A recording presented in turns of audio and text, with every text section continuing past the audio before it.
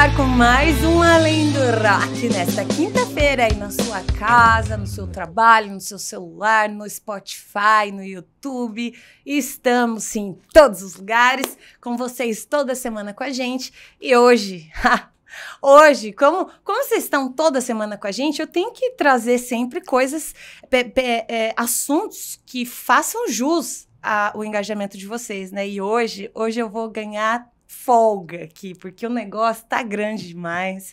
É uma pessoa que tá aqui no programa que, é, que, meu, é uma lenda viva do que representa a música, especialmente no sul do Brasil, mas do Brasil inteiro, porque já foi muito mainstream por muitos anos. E, e é um símbolo da música de, de noção de mercado, de noção de tudo. Eu tô aqui com Paulo Juque do Blindagem! Valeu, muito obrigado mesmo, muito obrigado pelo convite. É um prazer Imagina, enorme estar oh. aqui. Sempre é muito bom estar e poder falar, falar, falar da música, falar do rock, falar da vida. É Sim. sempre uma oportunidade boa. Nossa, mas eu, eu tô um pouco nervosa até de você estar aqui, porque eu lembro muito quando eu era criança, assim, é, lá eu tinha meus 9, 10 anos e eu já queria tá na música, já estudava piano, já estudava canto, já almejava ter uma banda, uhum. fazer show. E as pessoas adultas chegavam para mim e falavam: Ó, oh, tem uma banda chamada Blindagem. que os caras, eles detonam, assim, eles são famosos e tal, e às vezes eles tocam por aqui, tem que olhar, tem que conhecer, eles são daqui, uhum. eles fizeram... E eu, a vida inteira, tive isso na minha cabeça, assim, sabe? Como um mantra, assim, ó, blindagem, blindagem. Hum. Se tem alguém em Curitiba que sopra blindagem, blindagem. e você aqui hoje no nosso podcast. Caramba, quanta coisa. Que prazer, Sam. Prazer enorme. Estamos aqui. Tenho certeza que vai ser um papo muito agradável, muito legal. E vamos contar boas histórias. Vamos, vamos. E eu também queria até falar pra galera, antes de a gente se aprofundar em toda a história de música, que o Paulo também é da Abramos, né? uhum. né? Você é representante da Abramos, Sim. né? Ajuda a recolher os direitos autorais de nós, músicos, compositores. É, foi uma, uma oportunidade que eu tive. Eu sempre fui assim muito, sempre defendi muito o direito autoral, apesar de não entender como funcionava. Uhum. Mas com o Ivo, principalmente, né, a gente junto e tal, o Ivo sempre com aquela visão de querer saber tudo e tal, nós éramos filiados, é lógico, a uma associação, que não era Abramos no caso, uhum. mas eu entendia de uma forma bem lógica. A música tocava, e a gente recebia. Então uhum. falava, pô, é uma coisa bacana, sabe? Uhum. Uma coisa assim que interessa, uma coisa que é importante para nós, compositores, músicos e tal. Uhum. Então, quando apareceu essa oportunidade, na verdade, não foi assim uma oportunidade de trabalho, foi uma oportunidade de uma ideia, então, por eu ter um bom relacionamento no, no, no do mercado, né, como uhum. um todo. E eu achei super interessante assim. Meu eu, Deus! Quando eu fui lá e via que, na verdade, o que, que era, é a gestão coletiva dos direitos autorais no, no, Brasil e no mundo como um todo. Né? Quer dizer, qualquer coisa que se relacione à música ela tem o direito, tem o direito uhum. autoral. E de, de, quem que é? Do autor, do músico, do produtor, da, do estúdio. De todo do, mundo que faz parte todo desse, do, do, registro E hoje, música. mais ainda, com, a, com, a, com, a, com, a, com, as plataformas digitais, né, que democratizou muito a música. Dizer, antigamente era uma dificuldade enorme gravar. Eu lembro quanto tempo eu levei para gravar o primeiro LP da banda Blindagem. Mas, puxa vida, hoje em dia você em casa, você em casa você grava com a mesma qualidade e o que, que você quer? Upload para as plataformas digitais. Então, te possibilitou hoje, né? E tudo isso entra o direito autoral. Né? Não, e você viu todo o mercado acontecer, né? Porque Exato. quando o mercado estava lá no começo, quando ainda o sonho era ter uma gravadora, uma grande major, cuidando da sua uhum. carreira, né? Que antes existia mesmo, galera, o lance de você fazer uma música com voz e violão, mandar para a gravadora, uhum. a gravadora uhum. escutar e falar: isso é um talento, uhum. vamos, contrata. Daí, de repente, a pessoa tem 30 pessoas trabalhando para você, uhum. criando toda a tua estética, criando todas as tuas letras de música, as tuas você não precisava fazer nada. É, e aí acontecia a verdadeira mágica, né? exatamente. né? Eu lembro, eu lembro quando nós tivemos a oportunidade, depois eu comecei a ir atrás de uma gravadora, não tinha nem barba na cara, né? Eu era bem, mas sempre muito audacioso, sempre correndo Sim. atrás. E foi de uma forma muito louca, assim, porque eu estava assistindo um programa de televisão no sábado à tarde, e não, sábado pela manhã, e apareceu o Eduardo Araújo no programa. E cantou, e eu sempre achava ele assim, né, o pai do rock, né, aquela coisa assim Uhum, dele, aquela uhum. presença dele. né? Claro. aham. E eu achei super interessante, assim, sabe? E eu falei, caramba, né? Daí comentei com meu irmão, falei, cara, eu acho que eu tinha, né, não tinha nem 18 anos, um tempo assim bem. Eu falei, cara, eu precisava falar com o Eduardo, eu vou fazer um show dele com a banda, assim, aqui em Curitiba, sabe? E daí ele deixou o número de um telefone e eu liguei para ele. E eu liguei para ele e ele atendeu. Uhum, E daí eu falei, não, eu queria marcar com você, queria bater um papo. Eu não falei que estava em Curitiba. uhum. Eu falei, queria bater um papo. Não, tudo bem, ó, vou estar tal hora, lá 16 horas, lá no, no, no Tuca, em São Paulo. Uhum. E eu vou estar lá, que eu vou fazer uma gravação, que ele tinha um estúdio de, de gravação. E eu vou fazer uma gravação. Você não quer me encontrar lá? Eu falei, sim, claro. Opa, Mas não imagina, falei que eu estava em Curitiba, né? Uhum. Desliguei falei, cara, preciso ir para São Paulo agora. Meu Deus. Mas claro, quanto tempo? Não, já já tô aí. É que tá muito trânsito. E daí, meu irmão, Mas ó, ó, meu irmão barato, o meu irmão, o meu irmão conseguiu a, a passagem, eu fui, eu cheguei antes dele lá no Tuca, sabe? Eu cheguei, sentei, fiquei esperando, ele apareceu. Meu E Deus. foi dessa amizade que eu consegui, que ele me apresentou daí o, o diretor da gravadora, que na época era Continental, mas que é um cara super importante da música, era o responsável por ter trazido os Beatles para América Latina, a música Quem dos Beatles para América. época? Moacir Machado. Moacir Machado. E um cara fantástico. Ele pegou e me deu o cartão dele. Aliás, ele só descobriu que eu não era de, não era de São Paulo na hora Pelo de ir embora. dele. Não, na hora de ir embora. Que ele falou assim: para onde você vai? Eu falei: agora eu, eu vim de avião, agora eu vou voltar para a rodoviária, vou voltar de ônibus. Ele falou: por quê? Eu falei: não, cara, que eu vim, eu estava em Curitiba. Eu falei: cara, você é maluco, Você contou rapaz. Você é pra ele. É, daí contei, ele achou muito. Ele falou: não, cara, vamos lá para casa, vamos lá. Daí que eu fui para casa dele, conheci a esposa dele, que também era cantora da Jovem Guarda, a Silvinha. Eles foram super queridos comigo. E assim nasceu uma amizade, entendeu? Você vê que Incrível. maluco. maluco. Mas o, o que eu mais achei incrível nessa história toda foi a tua noção de tipo, cara, é pra ir agora? Eu É, vou. Não, eu falei "Não, agora, eu não vou dizer, estou em Curitiba. Ele disse, não, então vamos marcar. Falei, não, marcou, vamos. Ó, e, e, gente, é que, é que tem. Eu gosto de receber essa galera que sabe, que fala com propriedade, porque eu, eu sei que tem muita gente que tá começando projetos e Hum, bandas e, tem- e coisas, e tá assistindo o, Mas, o é, podcast. Tem que ter audácia. Não audácia no sentido de audácia. Eu estou falando iniciativa. Uhum. Eu, quer ver, se eu, eu contar uma outra história bem rapidinho assim. Fica à vontade. Eu, eu sempre achei que o Ivo, ele cantava como o Joy Cocker, né? Eu achava Aham. fantástico, assim, sabe? Ele cantando, e ele gostava de cantar mu- muito Will Help for My Friend, na versão do, do Joy Cocker no Woodstock e tudo.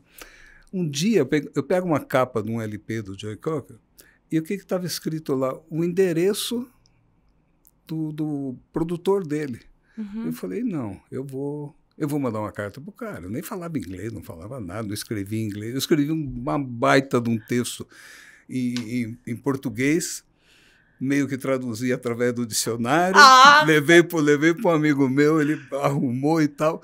E eu fiz assim, eu falei que eu era um produtor, tinha uma banda de rock que nós adorávamos, o Joy Cocker, entendeu? E...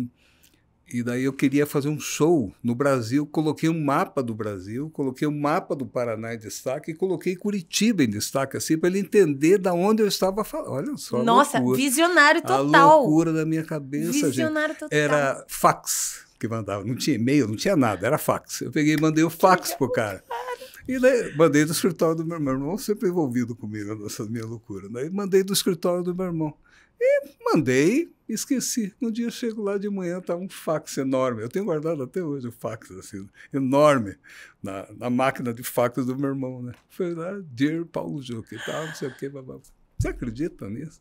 Eles responderam, ele propôs, Meu inclusive. Deus! Ele propôs, inclusive, assim, falou: não, não interessaria só fazer o show aí, podemos até pensar em fazer uma excursão pela Sul, pelo Sul da América, né?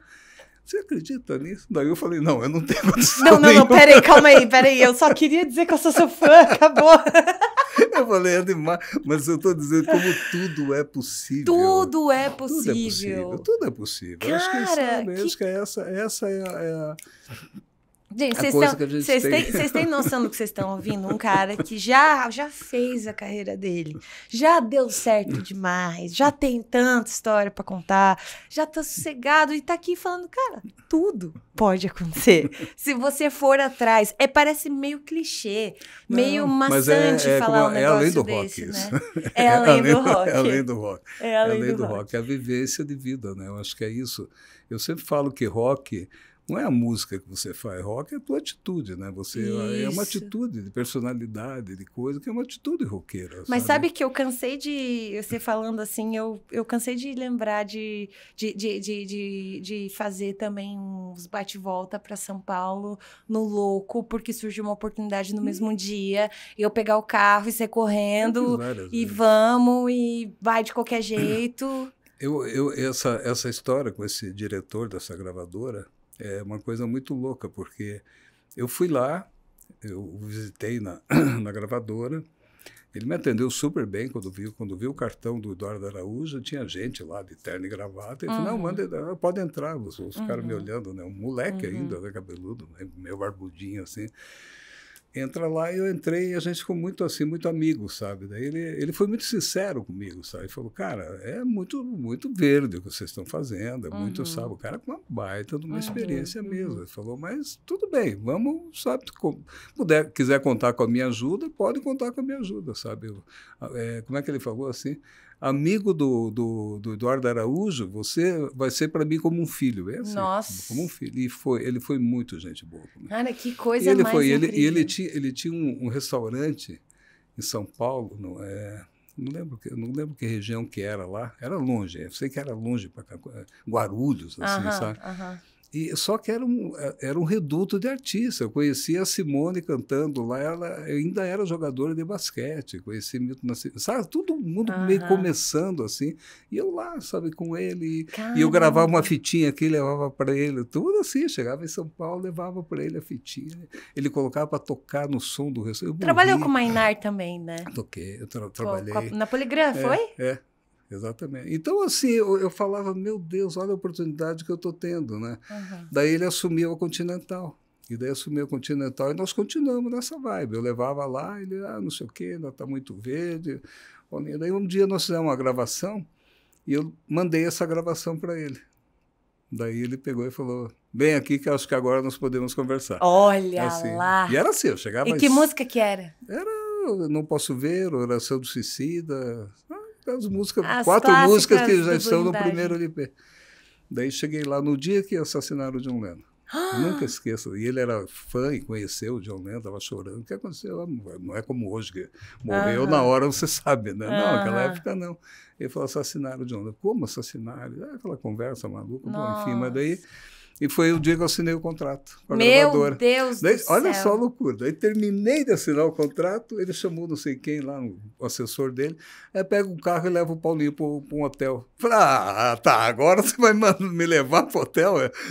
Eu ia lá, pegava ônibus, pegava táxi, é que agora pé, você é voltava. É importante, falei, né? agora você é nosso artista, agora tem que te tratar bem. Ai, que incrível, que sonho de artista. Foi muito legal, assim. Foi, foi daí que a gente acabou gravando o nosso famoso primeiro LP, né? Uhum, dessa, e que dessa fez um história, sucesso assim. absoluto, né? É. Tocou no Brasil inteiro, tocou, tocou demais, muito na rádio. Tocou, tocou muito. Nossa, e, e, e, você, mesmo sendo completamente atualizado hoje, porque tem muita gente que fala assim, ah, a galera não entende o mercado passado. Por você estar na Bramos, você obrigatoriamente precisa se atualizar sem todo. o sem opção de tipo, ah, não, eu parei de fazer as coisas, mas não, não você tem, tem, que se até, atualizar. Até muito né? pelo contrário, a gente convive muito é, com, com todos os artistas, né? uhum. né? Todos, entendeu? Então a gente não tem critério de. E não é de... estilo de música, não, né? Não, não, não eu sempre brinco. Até, aliás, quando eu fazia muita coisa de rádio, eu falava sempre: música tem dois tipos, é boa e a ruim, né? Em qualquer estilo, e isso é verdade. Exato. Eu tenho sertanejo que eu gosto, tem pagode que eu gosto, tem samba que eu gosto, tem rock que eu não gosto. E tem uhum. muito rock, lógico, que eu gosto. Música clássica, adoro música clássica. Então, e a, e a Abramos dá essa oportunidade, sabe? dá essa oportunidade que a gente convive. Como eu, eu galguei vários pontos, cheguei à vice-presidência da Brahma Nacional, né, tudo, então eu tive ainda mais a oportunidade, que, é, por exemplo, apesar que eu já conhecia, mas o, o, o Roberto Menescal pai da Bossa Nova era o presidente, eu era vice-presidente sendo um roqueiro, entendeu? Uhum. E todo o, o cast da diretoria sempre bons músicos, bons nomes. Hoje, por Sim. exemplo, o Danilo Caime é o presidente, o Frejá é o vice-presidente. Uhum. Então, isso te traz uma bagagem de conhecimento, de, de, de, de reconhecimento, uhum. de, conviver com as pessoas, de uhum. entender a ansiedade que, que, que as pessoas têm. Tem gente que critica o direito autoral, eu falo, vem cá, mas você sabe como é que funciona? Uhum. Você sabe como é? Eu faço questão de falar, por quê? Porque eu conheci. Eu entrava dentro do ECAD, nas reuniões que a gente tinha de diretoria lá, nossa, eu entrava em todos os departamentos, conhecia tudo como é que funcionava, a lisura que eles têm. Não existe essa coisa. Ah, Olha porque... que louco, né? A galera tem preconceito sempre quando falta informação. Eles né? acham, né? exatamente. Sabe o que eles acham? Eles acham que é, como é que eles falam? A caixa preta do ECAD. Sabe o que, que por que, que o dinheiro fica parado? Por falta de informação da classe, não é, não é o ECAD. É o dinheiro que está sobrando. Porque ali, o ECAD. Né? Não, mas não é, porque o ECAD não, ele só trabalha com aquela informação que, que ele recebe. Arrecadar, ele arrecada. Quer dizer, então, se, se distribui, por exemplo, 1 bilhão e 500 milhões por ano, por exemplo, de direito autoral, tem muito mais que isso que está parado por falta de informação, uhum. por falta, falta de um cadastro, por falta. E a gente passa o dia inteiro explicando isso. Né? O que, que é? Ah, porque eu registrei minha obra. Não, registrar você registra de uma forma. Aqui é cadastrar teu repertório para que a informação vá correta para dentro do casa. Para quando o dinheiro chegar lá, ele vai dizer, ah, essa música, é quem que é o autor é tal, vai para lá. Quem que é o músico que tocou tal, quem que interpretou. Entendeu? Essa informação que falta. E, e, e é, eu entendo, por a gente trabalhar, eu entendo como é que funciona, porque o cara fala, ah, mas eu. E brabo, né? Normalmente é brabo. Porque eu fiz, eu registrei, eu fiz o ISRC, nem sabe o que é dizer ISRC. Não. Eu falo, sabe o que é ISRC? International Standard Record Code? Entendeu? É, é, o Código Internacional de Identificação de uma gravação. Da, de uma gravação. Mas então eu registrei meu, minha obra. Eu falei, não, cara, você fez o cadastro de um fono, fez o cadastro de, uma fonogra, de um fonograma. Isso. Não necessariamente, inclusive, é a música tua. Exatamente. Pode ser uma música da outra pessoa. Uhum. Então você tem que primeiro cadastrar teu repertório de obra autoral. Daí você gravou, você faz o IS. Ia, isso aí é todo dia. Triste isso, né? Porque uhum. o músico, ele tinha que ter toda essa informação na ponta da língua, né? Mas me posso falar a verdade, sabe? O grande problema é que hoje a informação é muito farta e muito rápida e muito errada, por, por consequência, por causa das mídias sociais. Porque todo mundo hoje vai para mídias sociais e diz que sabe como é que faz e muito jogo de interesse por trás. Isso aí prejudica. Então, a lisura que você tem de explicar bem, é por isso que eu acho engraçado quando a pessoa fica brava. Eu acho mais engraçado isso. Porque eu falo, cara, deixa, posso explicar com calma? Posso te desenhar no bom sentido do desenho? É um sucesso meu desenho. Porque eu explico assim, poucos rabiscos, eu explico para ele o que é o direito autoral. Partindo disso aqui, é que você vai como a música. A música são sete notas. Não tem mais que sete notas. É Dó, Ré, Mi, Fá, Sol, Lá, Si. Certo?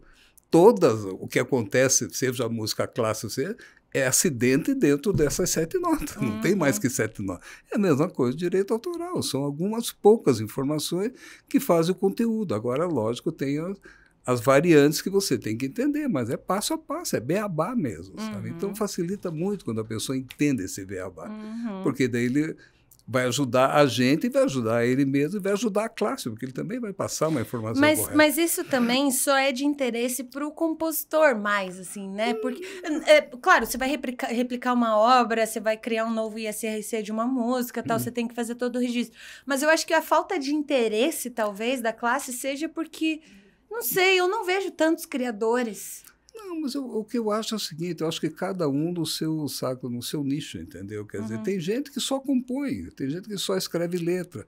Tem muita música de sucesso, mas muita música de sucesso, no sertanejo, por exemplo, que é feita pelo molequinho lá, que é filho do capataz, do tchão, do não sei o que lá da, da, da fazenda do cara. Uhum. Entendeu?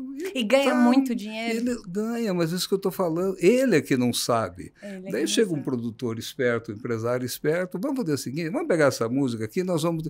vamos ó, só que eu vou pôr aqui também o, né, o tchão, né, né, daí sai aquelas músicas com 10 compositores, uhum, não sei o que. Foi um coitadinho que pegou o violão e gravou, entendeu? E, é... e pode acontecer muito isso, e, e acontece muito e isso. perante a lei, você não pode ter uma obra e mudar o o, o, o autor da sua obra, não, né? Não pode. Mas você, antes de registrar, você pode comprar essa Mas obra. você pode né? comprar, e ao mesmo tempo que pode comprar, você pode roubar mesmo, no sentido uhum. literal da palavra. Uhum. Eu tenho situações de música de sucesso que eticamente eu não vou dizer, mas o cara falou, o show foi lá na minha, na minha cidade, a minha família levou uma, a dupla tal, o artista tal para lá, e nós ficamos tocando. Ele falou: Puxa vida, estou com um artista famoso aqui, posso tocar uma música minha para você? Ele falou, e o cara só fez: oh, Lógico que pode. E, pum, e tá, gravou. Meses depois, essa música estava estourada no Brasil. Eu sei qual é a música, eu conheço a música, os pais da pessoa estavam juntos, me contou exatamente como foi a cena. Eu não vou citar, eu não vou citar, eticamente eu não posso citar, mas aconteceu. Isso eu estou falando de um caso. Meu De um Deus caso. Então acontece céu. muito isso. Só que daí é. a pessoa não tem uma outra gravaçãozinha de uma data antes para entrar na Mas justiça. você sabe por que, que o Ai Se Eu Te Pego ficou tanto tempo parado sem ninguém receber nada? Por causa que Por alguém causa tinha. disso. Porque, porque alguém, alguém tinha. tinha. Porque a história é, a história é de uma forma. Ah, é minha. Só que daí umas meninas lá, não, mas lá nos Estados Unidos a gente estava lá, o cara era bonitão, ele falava, ai, se eu te pego, ai, ai, se eu te pego, ai, ai. O juiz aceitou. Depois apareceu um outro dizendo. Daí aí o juiz falou, ah, então bloqueia tudo até que você decida quem que é o. Por quê? Porque ninguém tinha registrado. Que perigo. É, exatamente. Eu tenho. É, ah, eu for ficar contando isso, Conta, conta, conta. Mas, não, ó, não. melhor, melhor. Você toma um. um- não, água. A- Água? água, água. Então tá bom. Mas eu, eu vou, mas eu vou fazer. Não, mas eu vou tomar. Vai tomar um golinho também vou, comigo? Ah, então tá. Então vamos de drink além do rock, da Caissara Brasil, nossa patrocinadora. Eu E tá- conheço a Caissara. Uma boa, Caissara, é. Caissara é top, né? Ó, vamos fazer um brindezinho aqui. Aproveitar que tá um calor, Tá né. Paulo? Nossa, Pelo amor tá de lindo. Deus. Saúde! Saúde. E rock and roll. E rock, e muita música boa, pelo amor de Deus. Hum, Hum, coisa boa. Nossa, viu? Você é fraquinho, é muito, Fraquinho. muito gostoso. né? docinho, Você perigosinho. Esses dias apareceu, esses tempos, esses dias quando eu falo assim, antes da pandemia, apareceu um- uma pessoa bem simples, bem simples, tinha até sofrido um derrame, tinha um seu Paulo e tal, não era filhado, não era nada, eu filhei ele e tal, ele não era daqui, era do Nordeste lá. Acho que é do Norte até, acho que era do Pará, alguma coisa assim. Bem rapidinho para você tentar entender como é que funciona Uhum. o direito autoral. Uhum. Seu Paulo, eu falei, não, eu sempre brinco, ah, Paulo, seu Paulo está no céu, Paulo só. Então eu fiquei atendendo bem ele, ele me explicando. Ele falou, cara, há muitos anos atrás, eu estava, eu tinha um programinha de televisão lá numa TV lá, e criei um personagem e fiz uma musiquinha. E essa música toca. Eu sei que toca em aniversário, toca é minha. E eu, tá, tá, tá. E eu falei, mas cara, puta, aquela história, assim, lá, você vai, e fui. Daí fui lá, cadastrei a obra dele. Realmente tinha muita coisa parada no ECAD com essa música. E eu fui fuçando. Daí eu tentei liberar, porque quando eu, eu acho a música, eu acho o autor, eu cadastro, eu peço para o ECAD liberar o dinheiro. E nada do ECAD liberar. E ele cada vez mais sem dinheiro, coitadinho. Vinha lá e sem dinheiro. E eu tentando, e um dia falei para ele, falei, me diga uma coisa, você não tem assim um registro, nem que você perguntou um registro, alguma coisa que você tenha feito que prove. Ela falou, não, eu tenho registro na Biblioteca Nacional do Rio de Janeiro, que eu fiz em 2006.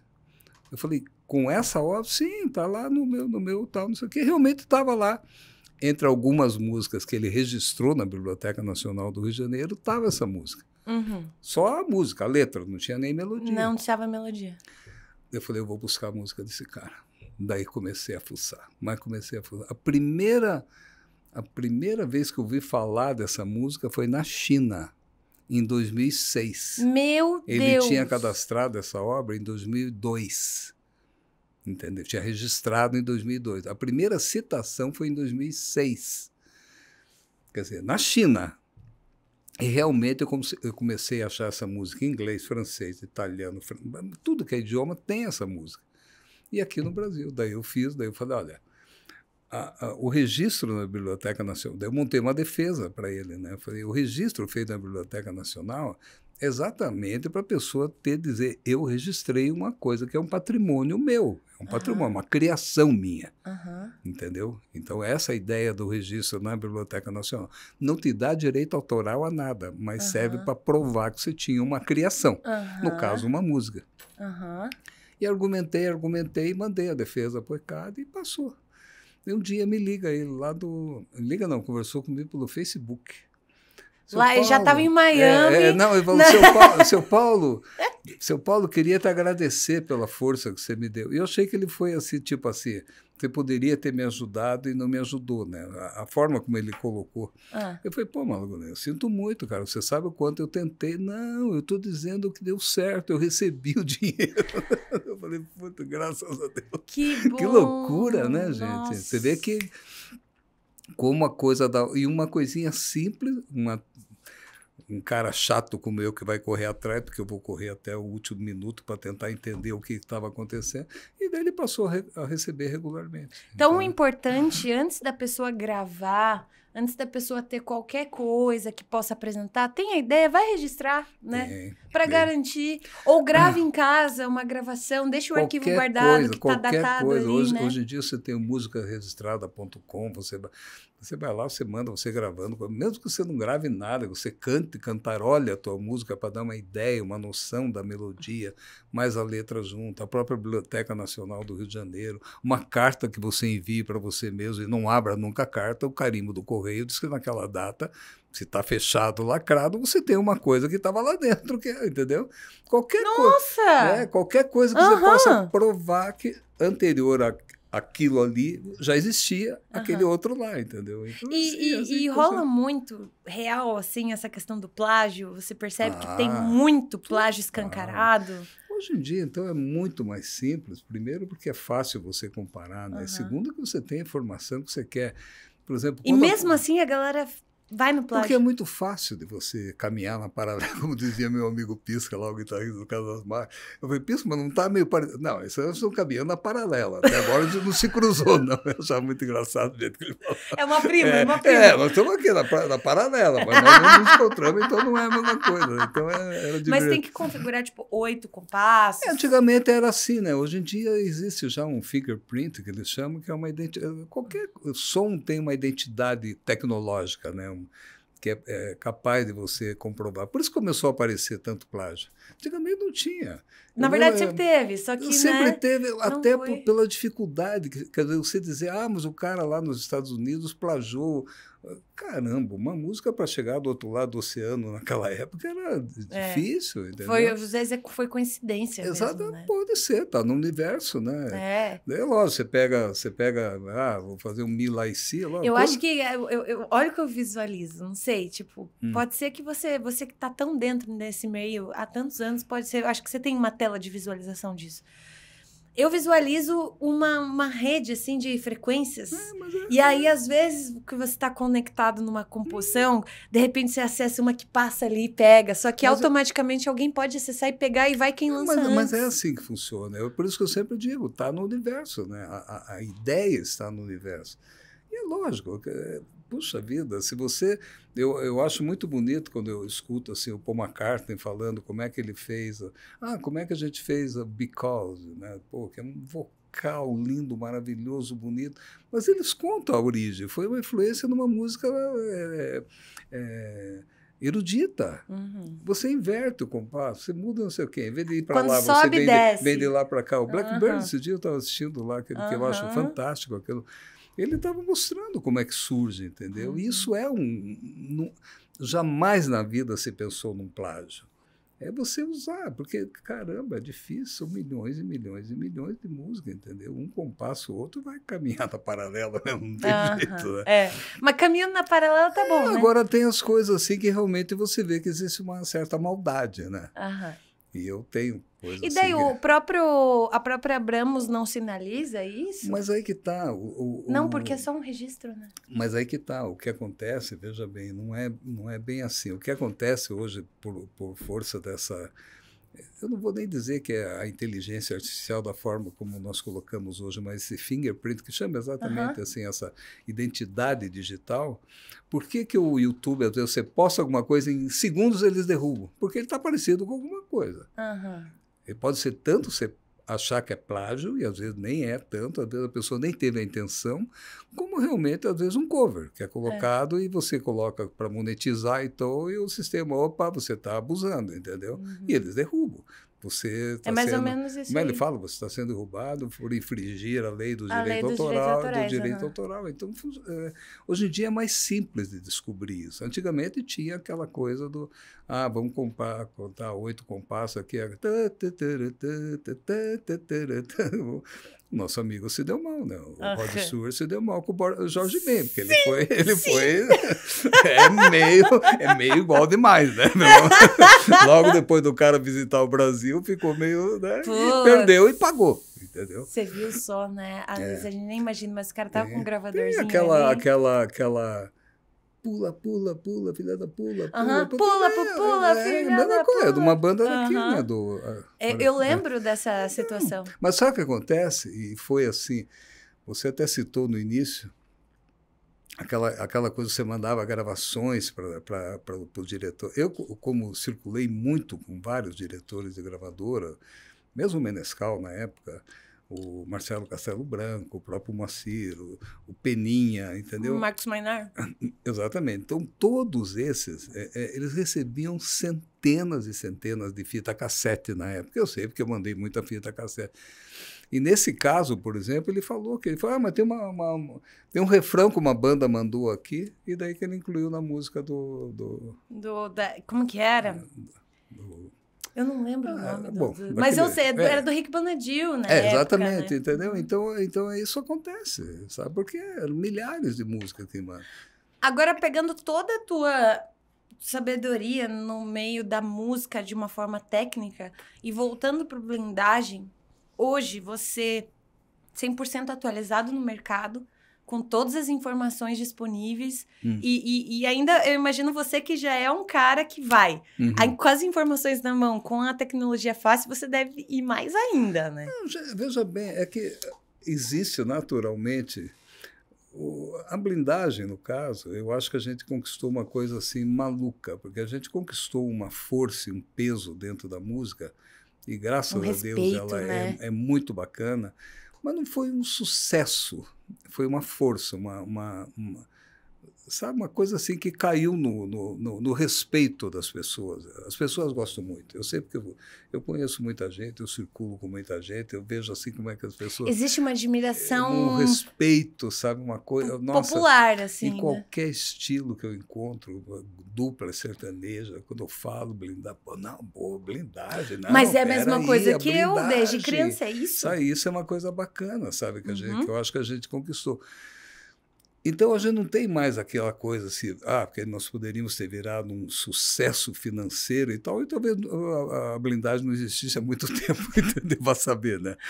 Essa, essa que é a verdade, Sim. mas eu acho que a gente solidificou a nossa, a nossa, a nossa história. Uhum. Primeiro por respeitar muito a música que a gente faz, os parceiros que a gente tinha, Rita Mozo, Paulo Leminski, nossa, é indiscutível a quantidade de coisas ah, que, sim. que nossa, eu sei, o Paulo é, Leminski. As, as o, músicas são maravilhosas. O próprio Aninho Pimentel, que é parceiro do Loba da Steppe, entendeu? Elinho! Dias Incertos, entendeu? Então são, são pessoas assim que a gente, a gente respeita como como compositores, como autor. Esse CD que, entendeu? É uma homenagem à, à música Deixa paranaense. Eu é, é tudo na nossa visão de roqueiro, né? Rock Pinhão. É. Ai. É muito é, nós. É, entendeu? é Mas muito aí, nós. O, a Gralha tocando um baixo pinhão. A Gralha né? Azul um tocando pinhão. um baixo de pinhão.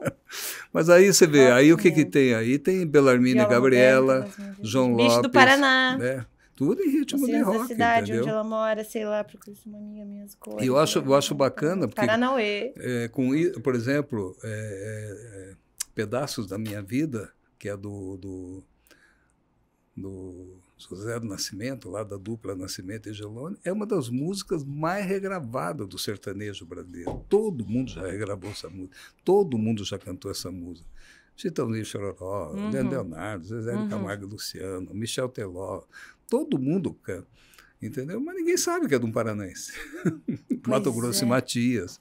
Pois é, gente. E ninguém sabe. E a gente gravou de um jeito legal, uma, uma, uma levada de ritmo e blues, né? Assim. Nossa, o pessoal do sertanejo, cara, que Pô. maluco, que coisa boa, que bonito legal. que tá isso, entendeu?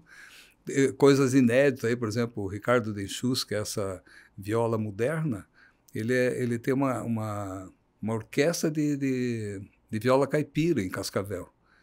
E a música é muito gostosa, Nossa. é um baião, assim, ficou um baião rock, o Danilo Caymmi canta com a gente, que legal, fez flauta. Gente. Então isso o que, que é? Valorização da música, valorização do artista, inclusive paranaense, que todo mundo fala, ah, não tem muita tradição autoral. Não, mas tem, opa. Opa, você tem, nós né? Temos, atualmente nós uhum. temos aqui, ó, que é aqui do Paraná, que está aqui com a gente aí, Tiago York, Léo Fressato, sabe, tudo, sabe, tem, sabe, tem muita coisa, assim mas é uma cidade que ela tem, um estado que ela tem um pouco de dificuldade. De, de... Eu sinto que o, que o Curitiba perde muita possibilidade de artistas fortes no mercado pelo fato de ter muito cover.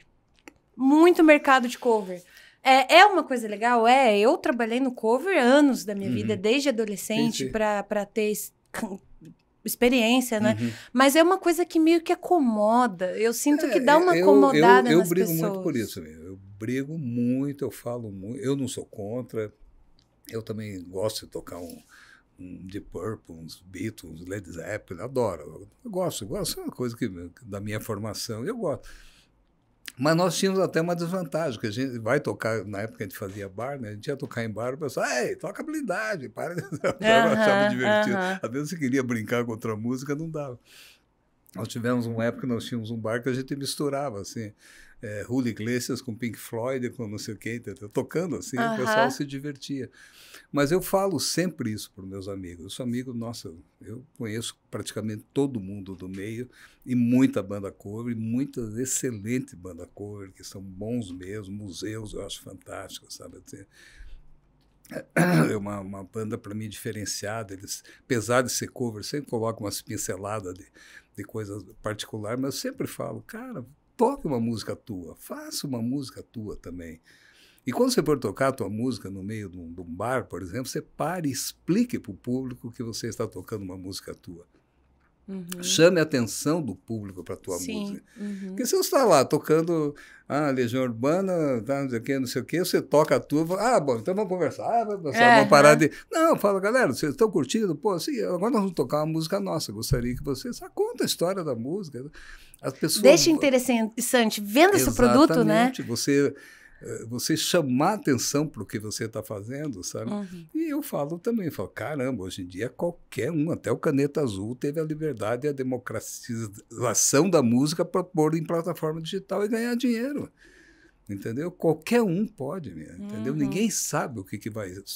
Ninguém sabe o que, que pode estourar. E o que, que você acha, tendo todo esse conhecimento, essa visão do mercado atual hoje, a galera do TikTok, a galera da, da, do Instagram, os músicos, os artistas. O que, que você acha disso? Na, na, verdade, veja bem, é conforme eu falei, é uma vantagem que você tem muito grande. É uma super vantagem. No meu tempo, eu tinha que pegar o LPzão e enfiar debaixo do braço. Mas era mais seleto também, sei, né? Mas você, assim, quer dizer, eu já cheguei a sair daqui com 100 LPs aqui de Curitiba e de, de rádio em rádio no interior, deixando o LP, entendeu? Assinalando que música que eu queria, entendeu? Tentando montar, quer dizer, era uma formação de plateia que eu fazia. Então, uhum. eu acho que isso te valoriza mais. Hoje em dia, se você ficar fora do TikTok, do Instagram, do Facebook, do YouTube, não sei o que, você está fora do mundo, né? Seja então... por um dia. não, não tem como. Não ah. tem como. E cada vez mais surgem novidades. Uhum. Eu, eu, lembro da época do Orkut. Meu Deus, Orkut. Quem que lembra de Orkut hoje? Entendeu? Ninguém mais lembra, mas a, ah, apareceram outras coisas novas. Então, o que acontece que eu tento explicar, porque, ah, porque eu quero parte do Spotify, porque eu quero. Eu quero, Spotify são, tem quase 200 plataformas digital no mundo. O Spotify só é mais uma. E é onde mais tem música. É a mesma coisa você chegar dentro de uma rádio que tem todo o repertório e você fala, eu quero tocar minha música. Eles vão dizer, tá, pô, lógico, vamos tocar sim. Deixa aí. E deixa lá, entendeu? Não vai tocar. Você tem, tem hoje estratégias de marketing para você fazer acontecer, para você. Porque está tudo na base do 15 a 20 segundos. Se você colocar a música para tocar e não convencer em 20 segundos, vai para frente. Uhum. Quero ouvir a outra música.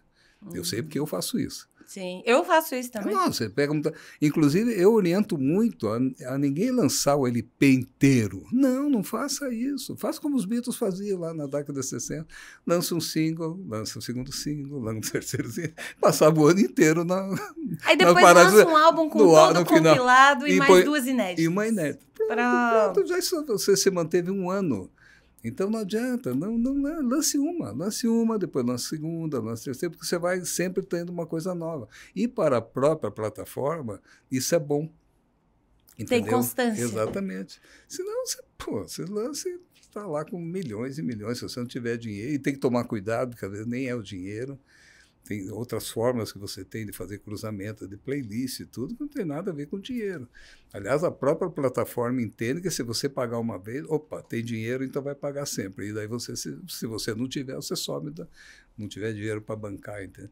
Agora, essas estratégias, cada, aliás, cada plataforma tem a sua, né? Entendeu? No YouTube é uma jogada, no outro é outra, no, entendeu? Uhum. Você tem coisas uhum. rápidas, coisas ligeiras, coisa que chame atenção rapidamente, sabe? Tudo isso tem que levar em conta, sabe? Senão é fica difícil. Nossa, que legal esses, esses conselhos que você está dando, uhum. assim, de uma pessoa que tem know-how suficiente para falar, gente, não faça isso, faça diferente, aproveite é, a oportunidade. Procuro, eu procuro fazer isso, eu procuro, acho, eu acho importante, sabe? Eu acho que quanto mais as pessoas souberem, entendeu? Porque, volto a dizer, não é ter dinheiro só. Né? Tem que ter. Você tem que ter uma inteligência tem ali de pensar. É a famosa inteligência mesmo, não adianta. Uhum. Golpe de sorte, sempre, né? Sempre tem sempre que ter um pouco de sorte. Sempre vai ter que ter, às vezes é golpe de sorte, né? é. né? O, eu não tenho nada, eu cito sempre o Caneta Azul, porque é realmente uma coisa assim estrondosa que aconteceu. Mas muita gente foi ver o. É e, muito dinheiro que ele Por ganhou? curiosidade. Mas muito porque, dinheiro. Por que, que essa coisa está dando? Você vai querer ver. Pra... Eu fui ver. Eu fui ver só porque já tinha muito tempo rolando então, e estava todo mundo falando. É, ele disse que ele não ganhou, mas ele já fechou, fez excursão até nos Estados Unidos. Né? Ele teve um ano que ele fechou o dia todo dia. Quer dizer, então estou dizendo, é um golpe de sorte? É lógico que é um golpe de sorte. Você acha que ele imaginou que ia fazer aquilo? Não. Não. Acho que não, é um golpe de sorte. Mas o golpe de sorte não é a regra, né? Não é a regra. É, é a exceção. É. E a galera leva como Eu, regra, é, às vezes. Né? Não é, não é. Você tem, você tem, você tem que ter uma malandragem no, bom sentido, assim, sabe? Um saque de uma de um clipe diferente, o saque de uma, sabe assim, coisas diferentes que meu Deus, se você for ver hoje o que viraliza, eu acho as coisas, eu, na minha concepção, as coisas mais absurdas do mundo, entendeu? E é o que é que viraliza, mas viraliza por quê? Porque, ah, você viu aquilo lá? Não, todo mundo, você viu aqui? Ai, cara, é você tipo, viu nossa, se eu não olhar, ah, eu tô fora do papo. Eu tô por fora de tudo. Não, é. você acaba vendo, você acaba, vai lá para ver por curiosidade, só com isso você está fomentando aquela coisa que, em teoria, é errada. É. Agora eu acho que muda, uhum. sabe? Eu acho que vai haver uma. Mas eu acho que a galera, eu, eu sinto ela, que o público está se questionando é, mais agora. Lógico, o público está olhando e falando: oh, peraí, isso, isso aí de é, novo? É. não, não vai, quero. Vai, vai, até, até porque mesmo o influencer né, só começa a ficar meio batido, meio óbvio, meio tudo que vai acontecer, entendeu? E assim é com a música, assim é com tudo, entende? Então, ele naturalmente ele começa a ter uma filtrada assim, sabe? E, e você sentiu que no blindagem, na época, vocês tinham essa visão de virar a curva do lado oposto? Hum, não. Não? Não. Eu, Só eu, foi acontecendo. Eu acho, eu acho assim que a gente sempre foi difícil. Era uma época que ninguém acreditava. Eu para mim foi uma assim, uma vitória quando a gente conseguiu gravar esse primeiro LP. A, fe, a forma como foi, o, o, gravar o berço de Deus, por exemplo, que é Milionários é Rico, gravar com, com um ritmo de blues, assim, como a gente gravou com o Almir Sater fazendo a viola caipira, Meu com Deus o Ivo cantando, eh, tipo Ray Charles, aqueles backing vocal. Tudo isso, todo mundo fala, ah, mas você... Não, não foi. A culpa foi do Caetano Veloso para ter gravado aquela música. Porque a gente gravou Verdura que era para estar. Tá só que o Lemis, o, o Lemis também tinha, com, com Caetano, tinha lançado Verdura um pouco antes. Daí, por uma questão editorial, nós não podíamos lançar. Daí que o Moacir chegou e falou: Cara, aqui está cheio de, de, de dupla. A, a, Continental teve os secos e molhado e depois sertanejo. Caipira, nem sertanejo, né? Música pega, raiz. Pega uma música dessa aí, faz um arranjo diferente. Nós se olhamos e falamos, o quê? Como? Genial, né? Não, foi um putel, falei, por que não? Por que não? Daí foi o berço de Deus. Entende? Tocou no Brasil inteiro, era sucesso na AM, que era a força da época, era sucesso no Brasil inteiro, sempre que a gente recebia os relatórios. E o marinheiro foi caminhando pelo lado da FM. De repente ele estava em primeiros lugares em São Paulo pela, pelo marinheiro, entendeu? Sabe? Então, assim, então fizemos chacrinha com o marinheiro, né? tudo que é programa de televisão com o marinheiro. Meu Mas Deus o sucesso era no berço de Deus, em AM. Meu Deus do é céu. É muito louco. Não sabe? tem regra nenhuma. Não né? existe regra. Não existe. Existe golpe de sorte, sim. Existe, e trabalho duro. Existe visão, às vezes, de uma outra pessoa que te dá uma dica, às vezes, sabe? E trabalhar muito, acreditar muito, inventar, sabe? A gente sabe, a gente sempre teve isso. Ah, show com orquestra sinfônica. Você não, sabe, você não faz ideia de quantos anos eu fiquei para fazer esse show com orquestra sinfônica. Mais de 20 anos. Sério? Mais de 20 Eu sempre, desde que eu vi o Beatles com, com orquestra, eu falei, ah, eu vou fazer o show. Todo mundo, todo Mas mundo, aí o que aconteceu? Você ia postergando? Todo mundo tirava saco de mim, né? Eu falei, vou começar, sempre fui xereta. Fui lá no, no maestro titular da época da Orquestra Sinfônica. Ah, queria fazer um show com orquestra. Você está tá brincando, Você né? Tá achando que é? Você tem, tem ideia do que é tocar com uma orquestra? Eu, eu, eu vi o de Purple tocando, vi o Scorpio tocando, qual a diferença? Nós somos uma banda. Não, isso é impossível. Ah, mudava de maestro, Lá ia eu, fuçava, fuçava. Um dia estava almoçando. Cara, vamos fazer um show, blindagem. Não, você tá maluco. Cara. Você sabe o que? Fazer um arranjo por orquestra. Mesmo, e foi, pá. e foi, foi. Mais de 20 anos. Meu Deus. Daí um dia, toca o telefone. Paulo, o que, que você acha de fazer um show com orquestra? Mano. Era o maestro. Mano. O Alessandro San Jorge. Não, obrigado. Músico de. de, de não, obrigado. Não, não, foi músico de heavy metal na Itália, roqueiro pra caramba. Diz que um dia ele contando, um dia ele foi para.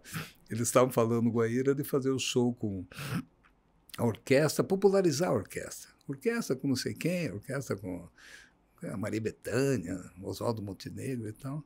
E ele falou: eu tinha feito uma viagem para a Itália, alguém me deu um cassete, ou sei lá, do blindagem, com uma seleção de músicas. E ele falou que foi para a Itália e voltou da Itália ouvindo blindagem. Nossa, como é que pode Daí ele falou, cara, daí ele falou: vem cá, vocês, têm uma banda aqui chamada Blindagem, que, cara, os caras são. É demais a música dele. Eu falei, pô, tá aí, vamos fazer com a blindagem. Daí que eles me ligaram. Você atraiu isso para tua vida. vi Você construiu É, isso então, na tua é de vida. acreditar, porque eu ia acabar, talvez chegando nele, não sei se haveria, mas nós somos amigos, temos, tivemos até banda de rock progressivo italiano junto, ele é um querido, né? Ele fez um monte de show com, com, com a gente, várias orquestras diferentes, tudo, sabe? E ele, nossa, assim, daí que eu vi que, poxa, é difícil? Não, mas não era impossível. Não era impossível. Era só ter que ter mais a gente trabalho. sentou, a gente sentou, escolhemos o repertório. Daí, pô, vamos pegar o tal não sei o quê para fazer os arranjos. Pô, mas será que não seria legal ter vários arranjadores? Porque daí ficam arranjos diferentes, né? cada um tem uma visão diferente. Pô, boa ideia. Sabe? Pegamos quatro arranjadores, os caras trabalharam super bem, sabe? Saca assim, nossa, meu Deus, a emoção de eu ver a primeira vez naquele Guairão, a orquestra tocando. Eu e o Ivo sentado no Guairão e só a orquestra tocando a parte deles. o Ivo até sócio, que, que música é essa? Nossa, mas imagina a tua emoção. Porque não momento. tinha uma linha melódica, era só os arranjos.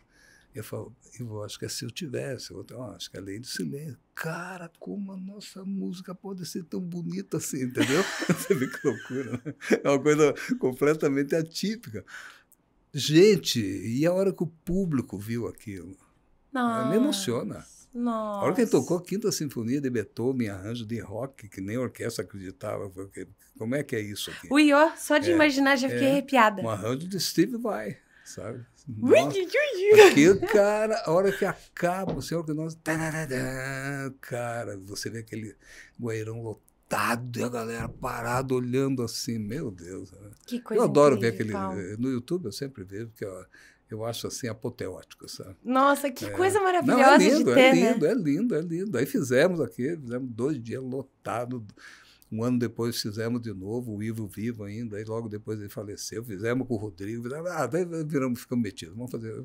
Só Guairão agora? Dá-lhe fazer show com orquestra. Só Guairão? É, é fizemos muito show. E quando você tem a próxima data? Pois eu estava, eu até estava, o Alessandro, tá, ele está morando em São Paulo, ele está regendo lá em São Paulo, né? Daí ele estava aqui, ele foi lá no escritório e estava conversando. Eu falei para ele, eu falei, eu queria fazer agora de novo com a orquestra. Ele falou, estou junto, né? vamos, vamos fazer. Eu, eu quero muito que ele esteja, né? Eu falei, mas São Jorge, eu estava pensando, será que a gente não faz o ano que vem? Que é os 50 anos do blindagem, né? Então, né, fazer de novo blindagem orquestra, assim, 50 anos, né? Eu acho que é uma coisa mais. Ele falou, gostei da ideia, vamos fazer.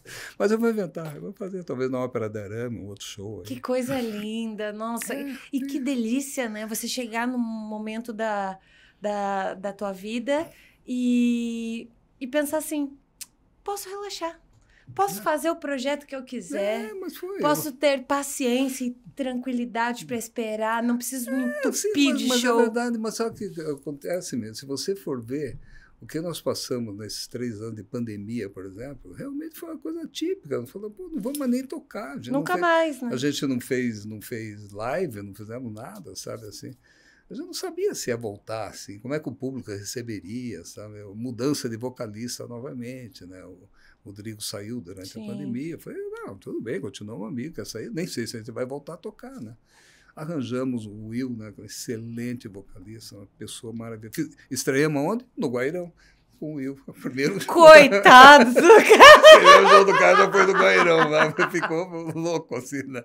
Super bem, se deu bem, sabe? já uma... sentou na janela. a gente, nossa, a gente fez uma programação visual, assim, linda. A, a história do blindagem, assim, em, sabe, em clipes, em vídeos, sabe? Uma coisa bem bonita. Esse de 50 anos é. eu quero estar tá lá esse, na frente. Esse vai hein? ser outro, assim, que a gente, nossa, pensei, pensei agora essa semana. Nossa, mas com certeza. Nossa, eu já tô ansiosa é, por esse. Mas é assim. Nossa, eu quero eu quero estar tá lá é. prestigiando, é. porque o blindagem também tem a é, marca da, da marca, a marca da marca na minha vida. É, que barato, porque eu acho, eu acho assim, conforme eu já falei, eu acho que a gente sempre respeitou demais o público, e isso é bom, respeitou demais a música que a gente faz, os autores, parceiros que a gente tem. Entre nós mesmos, gente, nós temos uma coisa muito legal entre a gente, sabe? Uhum. Ah, se discute aqui, se discute ali, mas nossa, a gente mas, é gente, super amigo. Estamos né? falando de 50 é, anos é, de muito banda. tempo, é muito tempo junto. Quem tem né? 50 anos de banda? É, Stones? É. O quê? Só? Blindagem? Não, além de vocês. Não, não sei. Quem tem 50 anos de banda hoje? Quem? Quem tem 50 anos de carreira hoje? O Raul Gil. Sabe, tipo. Não, é difícil. É, é difícil, muito é raro isso. Eu, eu conheço, Cara. eu conheço muita banda que parou e voltou, né? Porque houve uma. Aliás, até falando de novo da, da o que a plataforma digital é, é, objetivou, tudo mais, possibilitou, é que todo mundo hoje tem. Então você vê Bob Dylan vendendo catálogo, uh, Elton John vendendo catálogo por milhões e milhões de dólares? Porque está tudo na, na, digital e acontecendo de novo, né? Então se renova tudo novamente, né? Eu acho que todo, eu estava falando com um amigo meu, mesmo o trabalho da banda do, do, do meu. Aliás, nossos filhos todos são músicos, bons músicos, todos têm boas bandas e tudo mais, né? É, uma família, é, uma é. geração pós-blindagem é, da. Foi tudo música, têm, né? né? E eu falando com ele, eu falei, cara, porque a banda do meu filho, assim, eles tiveram uma, foi uma ascensão meio rápida e também pararam porque eles não queriam tocar em bar, não tinha mercado. Aí tocaram uh -huh. São Paulo, Rio, Brasília e tal, não sei o quê. Uhum. E para Trem Fantasma. Ganharam como melhor música, melhor é, vídeo. Eu falei para eles, vamos subir tudo para a plataforma digital. Falei, daí eles, ah, mas a banda já acabou, não tem, meu filho nem mora mais aqui, né? Tal. Eu falei, cara, Hoje em dia, pô, Vai tá que... o que tem de banda que já morreu, já acabou, então tudo aí tocando nas plataformas e tal. E resgatam fazer, demais coisas, fazer, né? São trabalhos bonitos, bons, entendeu? Por que não, sabe? Meu filho, por exemplo, ele, você vê, como, como, eu gosto de falar, né? Que coisa. Não, ele, ele, ele, lá de Portugal, ele falou, pai, vamos fazer um projeto, durante a pandemia, vamos fazer um projeto e relançar o primeiro LP do blindagem, da blindagem. falei, como assim? Ah, vamos fazer, cara, 40 anos do, do, do, do lançamento, vamos fazer um projeto. Eu falei, qual projeto? Eu falei, ah, não vou pôr grana em projeto. Não, a gente levanta e o pessoal paga. Gente, não, ele não fez o projeto Deu certinho, levantamos o dinheiro. Ele levou para remasterizar no Abbey Road, em Londres. Levou lá. Diz que eu, falou, ele contando, sabe, ele se emocionava e eu também. Falou, porque o mais perto que eu cheguei dos Beatles foi, foi através do disco lá dentro do Abbey Road, com o técnico que, que remasterizou Beatles, Pink Floyd, tudo. você podia escolher o técnico. Né? Ele falou, pai, vendo esse cara falar de vocês, falava, o cara falou, cara, mas os caras são os Beatles brasileiros, que barato. Sabe assim, que cada música ele fazia um comentário legal. Que assim. coisa incrível. Melhorou o LP, ele fez, bolou uma capa maravilhosa, 300 unidades só, e a galera pagou. Em 30 dias tinha levantado o dinheiro, tudo. Então, assim, ele em Portugal fazendo esse trabalho, é lógico, a gente aqui dando suporte, eu, a, a Marcinha, que é a produtora da, da, banda, que é a esposa do Paulinho Teixeira, dando suporte aqui, mas eles de lá, mídia social e pá e tal, e acompanhando. E, sabe, bacana, sabe? Uma equipe junta, todo mundo Nossa. criando a capa e fazendo, sabe, Ou um novo seja, layout. É né? só querer. É só querer. Né? Eu falei, nossa, então eu pensei, eu falei, poxa vida, acho que agora eu vou inventar esse show aí do, do, do blindagem com orquestra de 50 anos. Não, tem que ter isso aí. Já, já tá anunciado aqui no podcast Além do Rock. Então, assim, azar, vai ter que fazer agora. É, joga, eu sempre jogo, penso isso, joga no universo e agora você vai sentir se as pessoas vibram ou não vibram. Já vibrei, eu vibrei por um monte de gente aqui já. Pode, Esse, pode, já tem uma volta isso aí você de vê, Você vê a força legal, assim, que a gente respeita e curte muito da banda, e principalmente desse nosso público maravilhoso que a gente tem, né, que a gente nunca chama de fã-clube, nossos amigos clube, né, é que quando. Também invenção de lá, né? Vamos fazer um lance assim, é, queremos ouvir você, né? E lançamos. Ele lançou o lance lá, começou a chegar vídeo de gente cantando música do Blindar. E muitos achando que era para substituir o vocalista. Nós estávamos fazendo teste para o vocalista. Ah. Só começou a aparecer os caras tão bons que a gente começou, sabe, até cara do The Voice Brasil, né? criança, mulher, médico, todo mundo cantando blindagem e mandando vídeo para nós. Que Uns muito incrível. legais. Sabe? Uma coisa assim, uma uma aceitação tão rápida assim. Sabe? No fim, acabou até o menino que entrou, o Will, ele não, não mandou, ele mandou só para nós por influência de um amigo, assim. E acabou sendo ele. Mas chegou a pegar uns, levar no estúdio. Will? Will? Will, Will eu chamo de Will Vox, William Vox. Ele canta, ele canta, eu, ele canta num Creedence Cover, canta no Alabama, assim. Uma pessoa muito querida. Deve assim. ter uma voz. Nossa. Ele é, demais. Sabe o que é engraçado? Ele tem muito a voz do Ivo quando era jovem. Assim, ah. do primeiro LP, sabe? É mais, é mais limpa. Ah. Todo mundo lembra muito do Ivo agora, aquela voz já com drive na garganta. O Rodrigo canta blindagem bem demais, Marcelo do Motorrock canta bem, mas é tudo drive, né? E ele não, ele consegue. Então, os seus vocais da banda voltaram a ser feitos, aqueles vocais da, da época do primeiro LP também. Eu só acho que eu devia fazer de novo uma versão de Lobo da Steppe, só acho. só acho, entendeu? Eu vou gravar, vou postar no meu, nas minhas redes sociais. Posso contar uma historinha rápida também? Claro. Nós fomos tocar no festival. Como é que é o nome do festival? E tava o Steppenwolf também tocando lá, né? Não, mas, Só. mas o curioso é que a gente não sabia que eles estavam lá. Sabe? Eu sabia que ele ia tocar no festival, mas não que ia tocar no mesmo dia que a gente. E não que a gente ia chegar ao nosso camarim era em frente ao deles, né? Steppenwolf na frente, nós aqui blindagem. Eu falei, puta, vamos, vamos conversar com esses caras. Entramos lá, né? Bebê, bebê, bebê, não sei o quê. Daí fui tentar explicar para ele. Quer dizer, assim que o Loba da Steppe era a origem do mesmo nome dele, Steppenwolf. Lobo da Steppe, Steppenwolf é o Lobo da Steppe, né? Ah, é verdade, é, nunca tinha parado é, para pensar. É. E daí contando assim, eu falei, e vem da mesma origem do livro do Hermann Hesse, Il Lupo della Steppe, né? Que é o, é o Lobo da Steppe. Né? E daí eu falei, nós temos uma música, conversando assim, em inglês muito não falar, não falo inglês bem, até falo italiano, francês, mas inglês não. E, e ele, daí eu chamei um amigo meu e falei, explica para ele que nós temos uma música que é muito legal, que chama Loba da Steppe, e nós colocamos loba, porque ficar lobo da steppe ficava meio estranho, né? Você, uhum. lobo da steppe, é. te espero, ficava meio gay, meio, sei, sei lá. Coisa do Ivo e do, uhum. do? E daí nós fomos tocar, tocamos antes dele. E daí eu tava, a gente tava tocando, eu olhei, eles estavam do lado da gente, em cima do palco. Eles saíram do camarim e foram ver a gente tocar. Eu falei, nossa, eu queria tanto que o Ivo tivesse com o Ivo. A grande influência do Ivo, antes de tudo, foi o John Kay do Steppenwolf. Eu até contei isso também. E você acha que isso aconteceu por quê? É, não sei, loucura, né, gente? E ele, assim, quando nós saímos... Não tem nada a ver esse lance de ele não estar lá é, fisicamente. E ele, e ele, foi uma energia que, que nossa, veio eles dele. curtindo, a gente saiu do palco, eles abraçaram e falaram, que, cara, que banda que incrível maravilhosa. isso. Que banda maravilhosa, wonderful, great. Né? Eu falei, puta, como é que pode que uma vida converge para as coisas mais malucas? Né? É nossa, uma... Paulo, é. você. Nossa, eu acho que a gente tem que fazer tipo uma parte 2 do podcast. porque o que você. Nossa, né? Tipo, se aprofundar numa história muito louca. Uhum. Do, até do próprio. Uh, o, o meu Deus, me fugiu o nome do. O que fez parceria com você, com o Ivo, com o Leminski? O Leminski. O Leminski. Aliás, da é... gente vou de, descer mais. Aliás, esse ano, esse ano, por exemplo, também. é um ano de homenagem ao Leminski, né? porque é 80 anos que ele faria, né? Então, a oficina da música homenageado já é o Leminski, e esse ano todo vai ter um monte de homenagem para ele. Nós, inclusive, lançamos agora em janeiro uma música que é só do Paulo Leminski.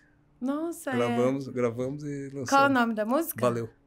Aí, ó, galera, já. Valeu. Tá lá, tá lá Vai no, assistir. no YouTube. No YouTube. YouTube. Não, não, tá, não está nas plataformas normais. Ainda vai entrar, mas tá ah, no, tá. no YouTube ô, já ô, tem. Ô, ô, ô, ô, Paulo, ah. você, pelo amor de Deus, não tá nos streamings ainda? Não, não, mas aí que tá. Que isso? Mas será, cara, Mas momento, você sabe que eu é importante que pôr no streaming, porque Né? de repente... Boa essa. Olha, eu acho que você tem que pôr. Tem um amigo eu vou, meu... Eu vou mostrar pra você como um é amigo faz. meu falou, cara, que o lance é Não, mas, no é, mas na verdade... na- É, pô, caneta azul colocou. Na, na verdade, a gente vai. Aliás, é a primeira música o novo vocalista. Que E- incrível. e- mas eu achei que a época não era boa. Mas eu vou colocar, eu vou ver no YouTube É, e eu vou é, esperar. Tem uma entrevista nossa e daí tem o videozinho que a gente gravou. Ah, é bem show, legal. Mas eu vou show. pôr, lógico que eu vou, né? Mas tô... Na verdade, assim, tem até uma história.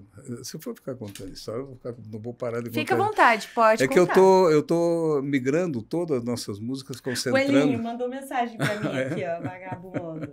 Mandou, oi. E eu tô, eu tô procurando. É, eu quero fazer a coisa bem, bem trabalhadinha, sabe? Bem legal, sabe? Eu acho Sem que, pressa, que vai, né? Sem bem, ansiedade. anda aí, e eu acho que todo tempo é um tempo. Agora tá todo mundo meio ligado em praia também, muito Uhum. assim, entendeu? E, quer dizer, também que também não tem a ver, não pode. Eu estou tentando arrumar todo o nosso trabalho. Ficou muito, esses anos todos, ficou muito disperso dentro das plataformas. Né?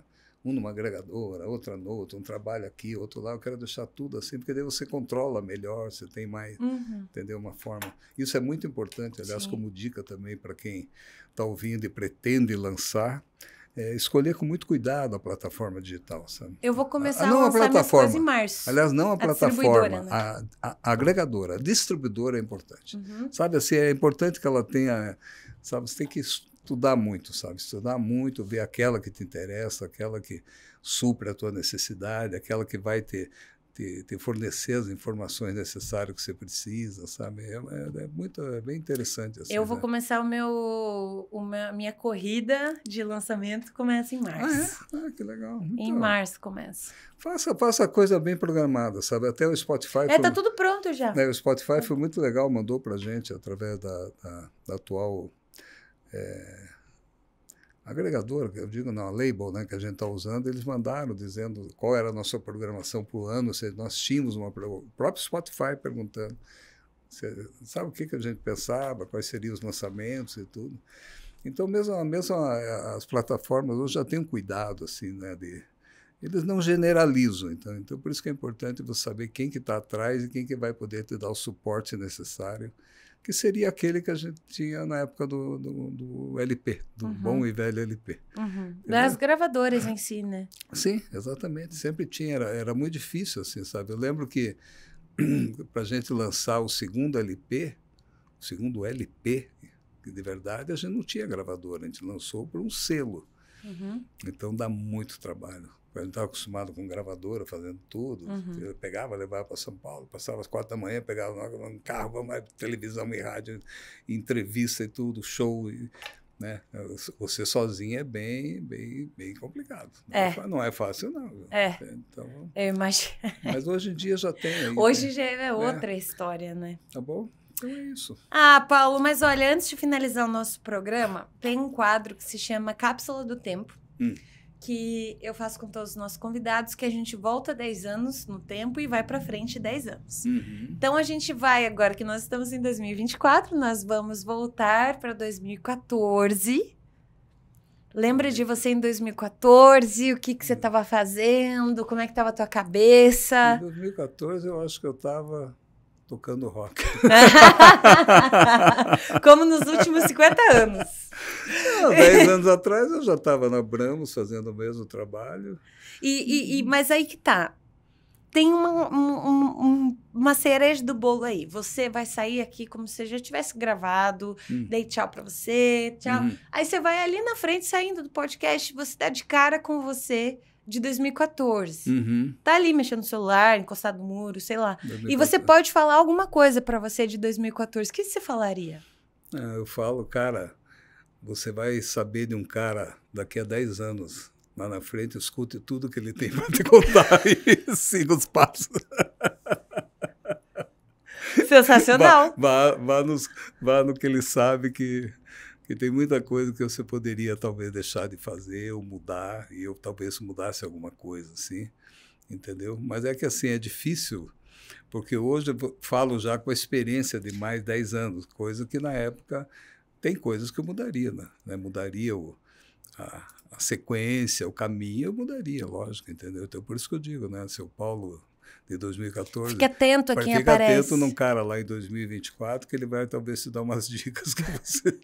entendeu? Mas são poucas coisas. Eu acho que assim, não, não me arrependo de nada do que eu fiz, mas algumas coisas eu teria mudado mas conforme eu falei, faltava talvez a experiência de vida, né? A experiência desses 10 é, anos, de fato, né? É, de 10 anos, exatamente, né? Agora, eu queria que você olhasse para sua câmera e deixasse um recado para você de 2034, que a gente vai mandar para você 2034. esse recado aí para você ver. Não, acho que não tem. Eu acho que agora nessa nessa altura assim a gente já tem já tem bastante conhecimento para saber diferenciar o que é bom e o que é ruim, entendeu? Eu agora quero Eu, eu acho que música eu nunca vou conseguir largar, não digo nem de tocar, mas eu estou dizendo de conviver com a música, de participar com a música. De alguma forma eu vou estar tá fazendo música enquanto eu estiver nessa fase terrena aqui, sabe? Não vou, não vou conseguir largar, não, sabe? Quero curtir, curtir meus filhos, meus netos, curtir minha esposa, sabe? Que eu, que eu amo muito, pessoa que me ajuda muito, sabe? Espero realmente poder fornecer sempre o melhor para todos eles, de uma forma bem legal, bem bonita, bem, bem agradável e o menos trabalhoso possível. Nossa, deu para sentir que você tem muito, muito, muito amor pela tua família. Eu tenho. E, deu, nossa, é. esse, esse quadro me deixa meio... É. Eu sempre dou uma, uma mareadinha aqui. Mas eu quero te agradecer. Muito obrigada, Paulo, por todo o tempo que você uhum. disponibilizou para a gente para contar essas histórias tão Não, valiosas. Foi, foi super agradável. Que é, a experiência de vida vale mais do que qualquer coisa Sim. no mundo. Vale mais do que o próprio tempo, né? Que é a coisa mais valiosa que a gente tem. Então, eu te agradeço por você ter Não. compartilhado isso com a gente. Foi. Eu desejo que a comemoração dos 50 anos no Guairão com a orquestra seja a coisa mais incrível que você já fez na sua vida, por mais que você já tenha feito isso, vai hum. ser mais incrível vai do que ser, nunca. Com certeza. É e sempre que emocionante. você tenha muito, muito, muito mais sucesso e que a tua inspiração de correr atrás inspire as outras pessoas, porque isso que fez o Blindagem ser quem é e você fazer essa diferença no mercado da música. Não, eu procuro, eu procuro realmente, não falo da boca para fora e quem quem reclamar, eu sempre falo, vem aqui, pode falar para mim, porque eu vou procurar mudar o que, a ideia que você teve, porque eu acho que esse é o nosso papel, né? Principalmente pela posição que a gente está, de conhecimento, de Sim. relacionamento, a gente tem que fazer isso, né? Sim. Então, só posso dizer que, puxa, além do rock, foi muito mais dentro do rock do que eu imaginava. Ai, que bom! Eu fico muito feliz. tá bom? Obrigada. E ó, você que tá aí até o finalzinho, deixa seu like, deixa seu comentário, compartilha para quem precisa ouvir essas coisas, quem tá correndo atrás, até para você mesmo, dá uma ouvida melhor em tudo que o Paulo falou. Isso é experiência de vida, como eu falei para você. Vale mais do que tempo, que, que é mais valioso do que tudo, então vale tudo. Então, até a próxima quinta-feira com mais um Além do Rock.